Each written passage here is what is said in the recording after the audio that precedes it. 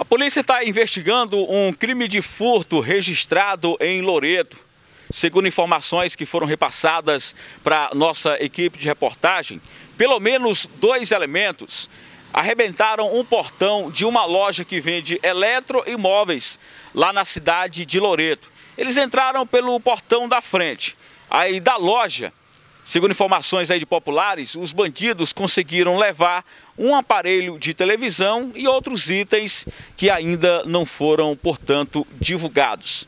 O que se sabe que foi um grande prejuízo deixado pelos criminosos através desse furto registrado em Loreto, Maranhão e foi no período da madrugada que tudo aconteceu. Os elementos entraram na loja, invadiram o estabelecimento comercial, arrebentaram o portão da frente na calada da noite.